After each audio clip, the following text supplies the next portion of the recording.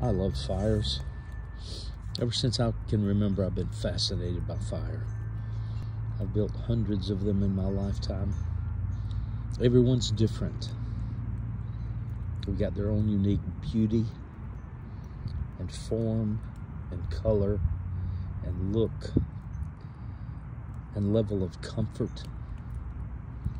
Mm-mm-mm-mm. I love the fact that the throne of God is an environment of fire.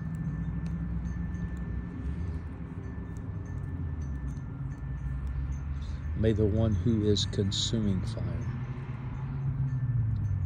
surround you with the passion of his love for you and warm you and comfort you and purge you and me and make us the eternal beings he has intended us to be, which is what fire does.